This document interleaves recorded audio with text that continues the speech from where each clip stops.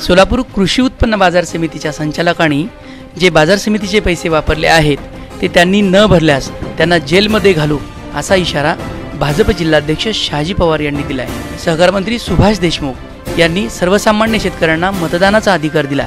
त्यामुळे बाजार समितीच्या निवडणुकीत शेतकरी अशा भ्रष्ट संचालकांना जागा दाखवतील असंही त्यांनी म्हटलंय. एस न्यूज मराठीशी बोलताना काय म्हणाले शहाजी पवार? ऐका त्यांच्याच तोंडून. सोलापूर कृषी उत्पन्न बाजार समितीची निवडणूक. हे आम्ही लढवणार आहोत.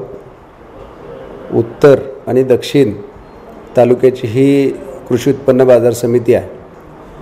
आणि गेल्या वर्षभरापासून इथल्या मार्केट कमिटीच्या काय अडीअडचणी ज्या भानगडी आहेत ह्या लोकांनी ज्या काही शेतकऱ्यांना फसवणुका केल्या आणि ज्यांच्यावर गुन्हे नोंद झाले अशा लोकांच्यासुद्धा भानगडी आज समोर आलेल्या आहेत. सगळ्यात महत्त्वाचं आहे की कृषी उत्पन्न बाजार समिती ही शेतकऱ्याची आहे. परंतु आजपर्यंत त्या बाजार समितीत शेतकऱ्याला फार मोठं किंमतच नव्हती. परंतु आज शेतकऱ्यालाचा मतदानाचा अधिकार देऊन खूप मोठी किंमत आज शेतकऱ्याच्या हातात दिलेली आहे की ही तुमची हक्काची आहे तुम्ही ठरवा आता याला कुणाला हे करायचं. आणि म्हणून शेतकऱ्यांसाठी नेहमीच मान्य सुभाषबापू देशमुखांनी काम केलेलं आहे आणि त्यांचा हा निर्णय त्यांनी घेतलेला. अतिशय सुंदर निर्णय आहे. गावागावामध्ये आम्ही प्रवास करत असताना लोकांचं मत आहे की आम्हाला आता मतदानाचा अधिकार दिला आम्ही आता बघून घेतो. ही भूमिका असताना भारतीय जनता पार्टीच्या विचारा इथं चिन्ह नाही आहे पण भारतीय जनता पार्टीच्या विचाराच्या पॅनल किंबहुना या ठिकाणी आम्ही उभा करतो आहे ग्रामीण भागामध्ये आम्ही काम करत असल्यामुळं मार्केट कमिटी ही शेतकऱ्यांना न्याय मिळावा त्यांचा हक्क अबाधित राहावा ह्याच्यासाठी आम्ही लढवतो आहे याच्यामध्ये आम्हाला काय त्याच्यात काय व्हावं असं आम्हाला वाटत नाही. परंतु शेतकऱ्याची मार्क मार्केट कमिटी ही शेतकऱ्यांसाठीच राहिली पाहिजे. याच्यासाठी हे आम्ही पॅनल उभा केलेला आहे. हो पालकमंत्री हे उभारतात पालकमंत्र्याचा खरं तर त्यांचा एक अधिकार आहे की त्यांनी आम्हाला बोलूनसुद्धा अगोदरसुद्धा सांगू शकले असते आम्हाला मार्गदर्शन करू शकले असते. हे कार्यकर्त्यांचं इलेक्शन आहे. पालकमंत्रीसुद्धा उभारत असतील तर चांगली गोष्ट आहे. पण त्यांनी स्वतः सांगितलं पाहिजे होतं आम्हाला की मी उभारणार आहे आणि हे इलेक्शन लढणार आहे. मी तुमच्या माध्यमातूनच प्रेसच्या माध्यमातूनच आजपर्यंत ऐकले त्यांनी मला कधी सांगितलेलं नाही. ते आमचे नेते आहेत आणि वरिष्ठ नेते आहेत. त्यामुळं पार्टीने काय सांगितलं तर पार्टी ठरवेल. परंतु आज इथं आम्ही कार्यकर्त्याला प्रत्येक ठिकाणी उभा करतो आहे आणि या ठिकाणी आम्हाला असा कुठलाही पार्टीचा निरोप नाही आहे किंवा पालकमंत्री साहेबाचाही निरोप नाही आहे की मी उभारणार आहे मग तुम्ही तिथं काही लक्ष देऊ नका. असं काही कोणी म्हटलेलं नाही आहे आणि आम्ही त्या ठिकाणी जे विचारायचे आहेत आपल्या त्या सगळ्यांना फॉर्म भरायला सांगितलेलं आहे. आता उद्यापर्यंत आमची ती प्रक्रिया चालू आहे की काढून घेणं काय करणं कुणाला ठेवायचं आणि जिंकून येण्याच्या दृष्टिकोनातून आम्ही प्रयत्न करतो आहे दोन गोष्टीचा परिणाम नक्कीच शेतकऱ्यांवर होईल. ही मार्केट कमिटी शेतकऱ्याची म्हणत असताना मार्केट कमिटीची स्थापना झाल्यापासून ही मार्केट कमिटी काँग्रेसच्या ताब्यात आहे. किंबहुना काँग्रेसच्या विचाराच्या नेत्यांच्या ताब्यात आहेत मार्केट कमिटी काँग्रेस आणि राष्ट्रवादीच्या विचाराच्या ताब्यात मार्केट कमिटी आहे. परंतु आज वाढदिवसाच्या त्यांच्या स्वतःचे वाढदिवस आले तर लाखांनी खर्च मार्केट कमिटीमध्ये पडला. परंतु माझ्या सर्वसामान्य शेतकऱ्याच्या साठी मात्र कुठं लाख दोन लाख रुपयेसुद्धा खर्च झाला नाही. वीस वीस लाख वर्षाला खर्च मार्केट कमिटीत या लोकांनी टाकला.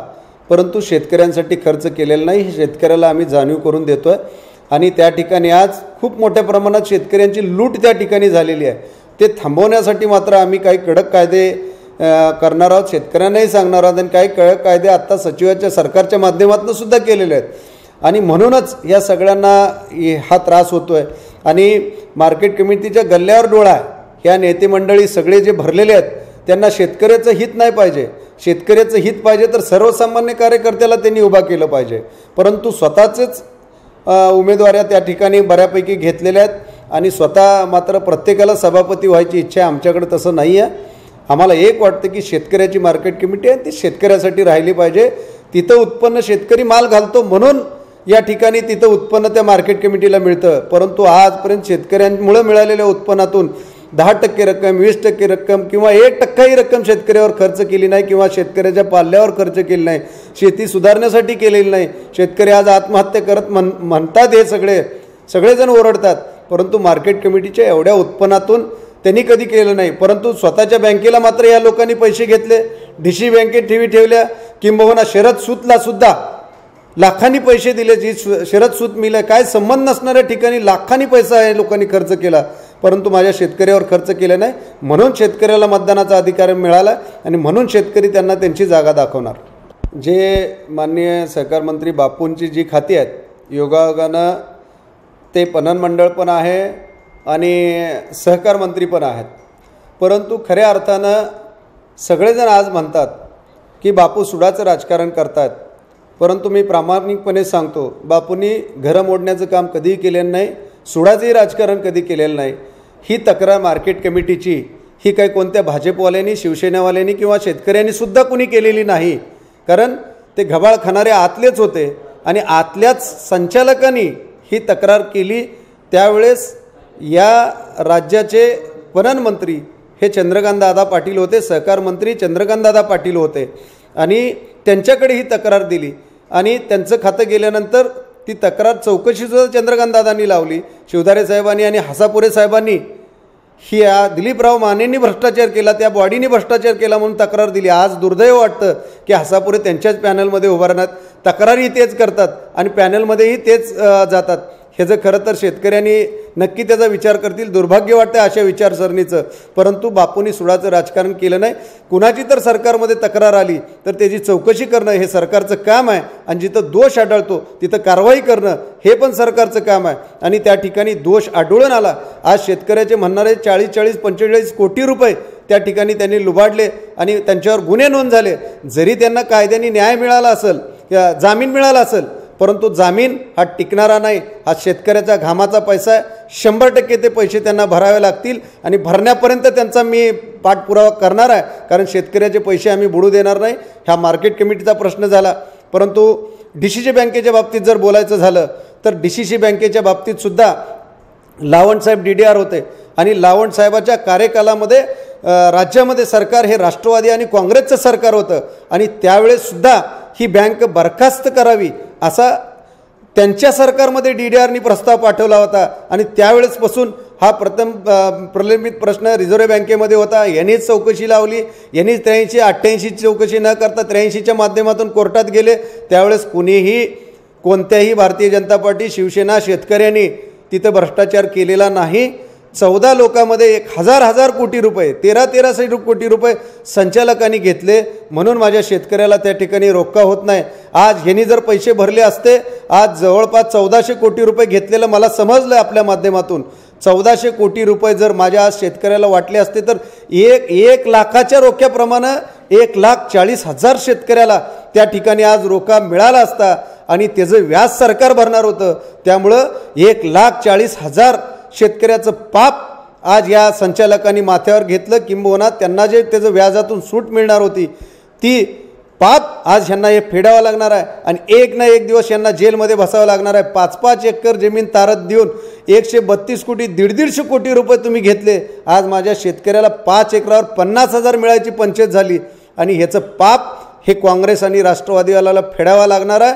आणि जनता शेतकरी आज ठरवणार आहे की हे त्यांना हे त्यांनी लुबाडले तर काढावं लागणार आहे आणि ते शंभर टक्के निघणार आहे.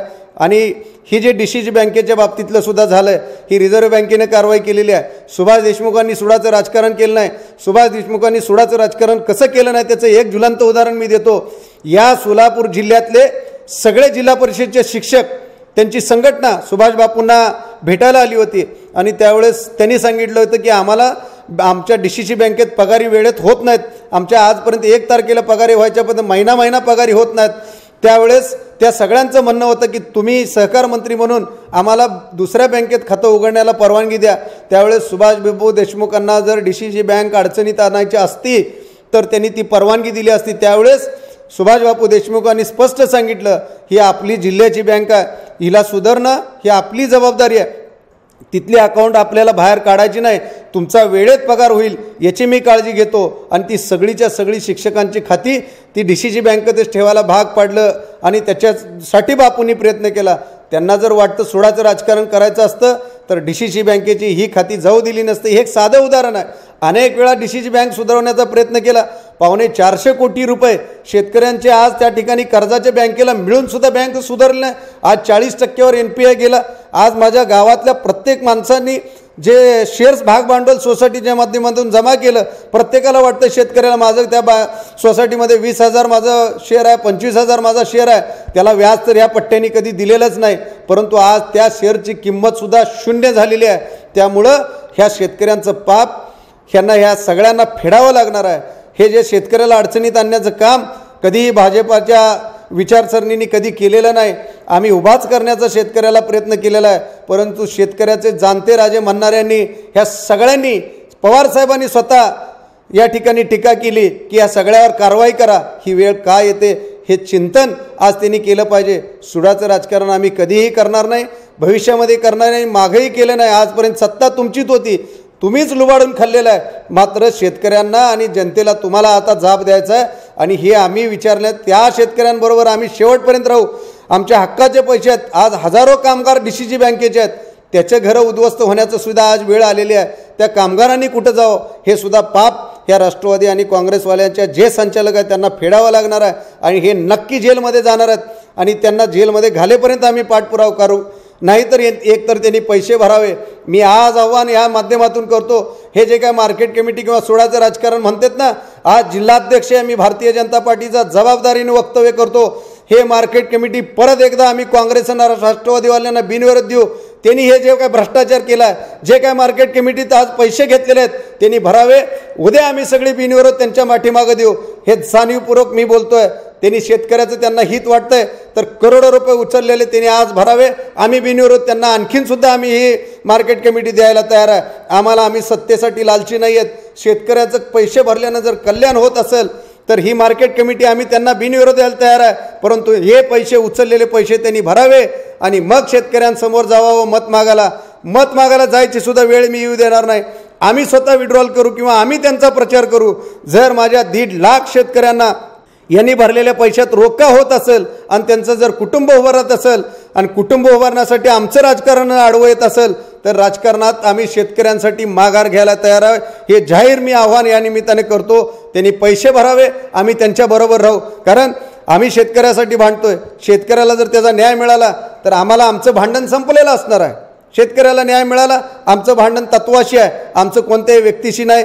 सोडाचं राजकारण या निमित्ताने मी सांगतो. पण जर यांनी हे पैसे नाही भरले तर यांना जेलपर्यंत घालू. शेतकऱ्याचा घामाचा पैसा मिळवण्यासाठी भले सरकार मग आमचं जरी असलं तरी काय कायद्याने बांधलेलं असलं पण जिल्हा अध्यक्ष म्हणून आम्ही भारतीय जनता पार्टी म्हणून आम्ही रस्त्यावर उतरल्याशिवाय राहणार नाही. या निमित्ताने मी आपल्याला एवढं सांगतो.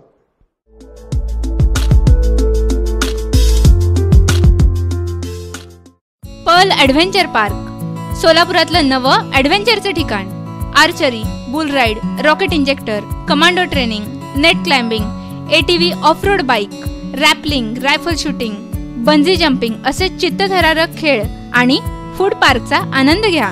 विविध खेळांचा नजराणा लहान मुलांपासून वयोवृद्धांपर्यंत सगळ्यांसाठी हक्काचं करमणुकीचं ठिकाण.